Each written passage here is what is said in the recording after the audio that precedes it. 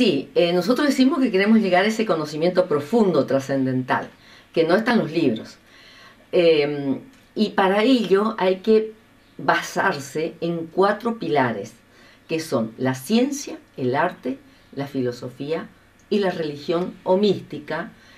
Em, justamente, si se divorcian, por ejemplo, una ciencia divorciada, de la religión, no respeta las leyes de la naturaleza y, bueno, creaciones de monstruos, ¿no? O sea, eh, es lo que está demostrado en lo que está pasando, lo que está pasando en nuestro planeta, ¿no?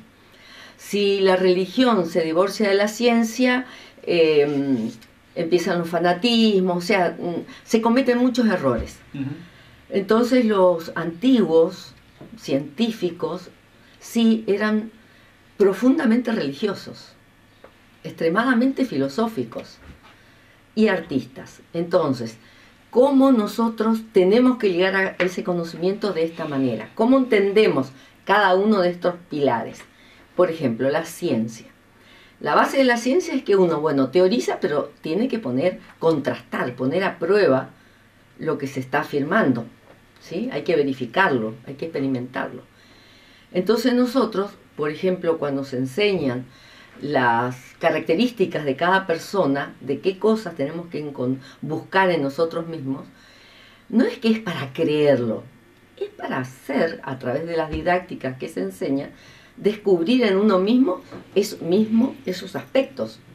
Esa S que me comí viene de misiones. bueno, em, entonces, la ciencia ¿Y qué se estudia? Se estudia el microcosmo desde lo infinitamente pequeño a lo infinitamente grande, del microcosmo al macrocosmos, pero buscando objetivamente la razón de ser, ¿no es cierto? El arte, ¿qué es el arte? El arte es la búsqueda de la belleza en todas sus manifestaciones. Entonces nosotros no nos vamos a poner a hacer obras de arte. Sin embargo, en ciertas épocas de la historia de la humanidad, a través del arte se transmitían estos conocimientos. Pero nosotros hoy, ¿cómo, cómo tendríamos que tomar esto? Nuestra vida tiene que ser una obra de arte. En el sentido que tenemos que tener arte para hablar, arte para enseñar, arte para aprender, para escuchar, etc. O sea, tiene que ser bella, bello todo lo que hagamos. Eh, ciencia, arte, filosofía. Filosofía es una palabra que, se descompone en filo, Sofía. Filo, amor, Sofía, sabiduría. Amor a la sabiduría. Ahí cuando nosotros nos estamos preguntando, ¿quién soy? ¿De dónde vengo? ¿Para dónde voy? ¿Por qué me pasa lo que me está pasando? Ahí estamos eh, buscando la verdad.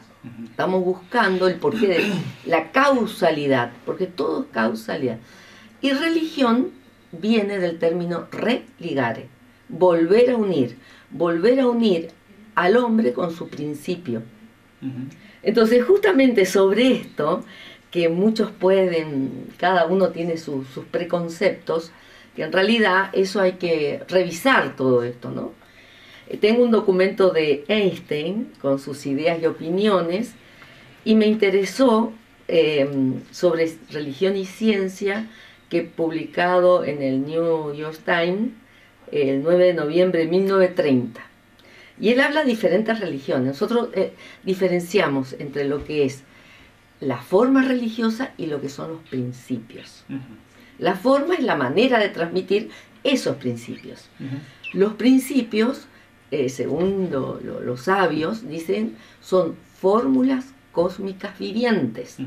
Y cuando leo a este, aquí este, habla, o sea, él en otros documentos eh, reclama mucho temas de la religión, pero de cómo se lleva a cabo esa forma, ¿no?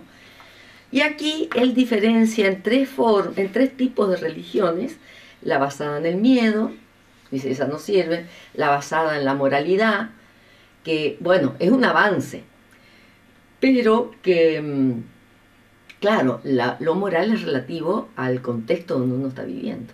Para Argentina la moral es una cosa, para la mujer india es otra. Seguro. Entonces, es relativo. Hay, cánones colectivos e individuales de moralidad.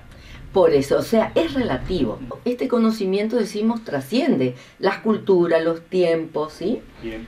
Y entonces dice que hay un tercer tipo.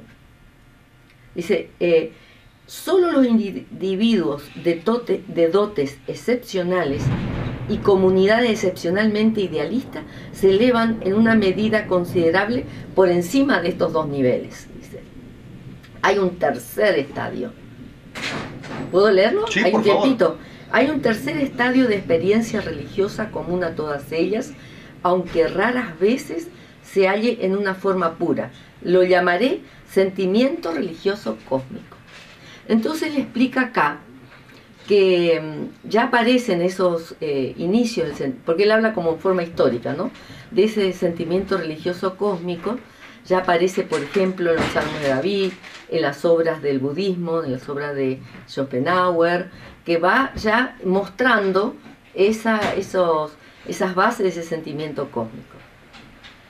Dice, si enfocamos de este modo a hombres como Demócrito, Francisco de Asís y Espinosa, veremos que existen entre ellos profundas relaciones, porque eh, él acá expresa que son seres que a través de un trabajo interior han logrado percibir esas realidades cósmicas.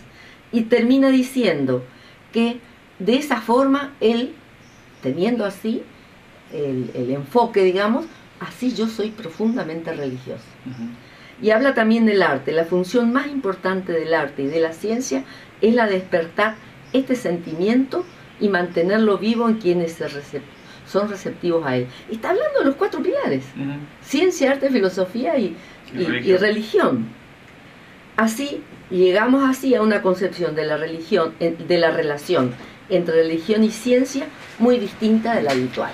O sea que eh, un poco expresa eh, en forma lo que él captó, es lo que el conocimiento gnóstico quiere transmitir, ¿no es cierto? Seguro. Ahora, ¿cómo desmenuzan ustedes todos temas tan amplios en charlas este, cotidianas? ¿Cómo se bajan esos temas a la gente que es seguidora de Gnosis? Sí, sí, sí. Eh, digamos, hay una, es teórico-práctica. O sea, hay una didáctica y prácticas para que uno pueda evidenciar por sí mismo las, esas realidades que son universales.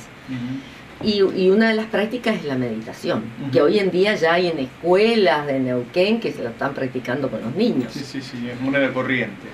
Sí, pero esto va- es más profundo porque tiene que ser la conciencia, despertar la conciencia para poder acceder a ese conocimiento.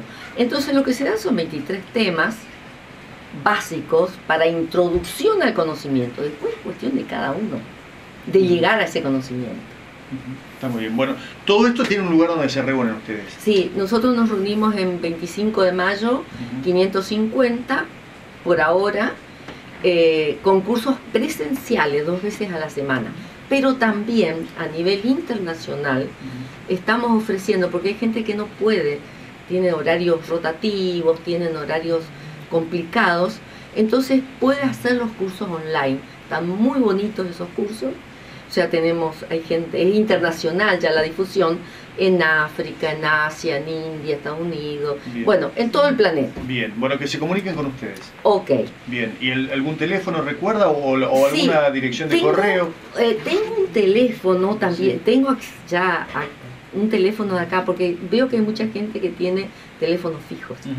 Entonces, teléfono que estaba usando, que es el 3564, todavía es de San Francisco. Claro.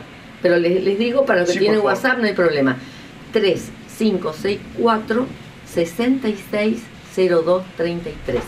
Y un local 3404 65 3606. También tiene WhatsApp o llamadas fijas.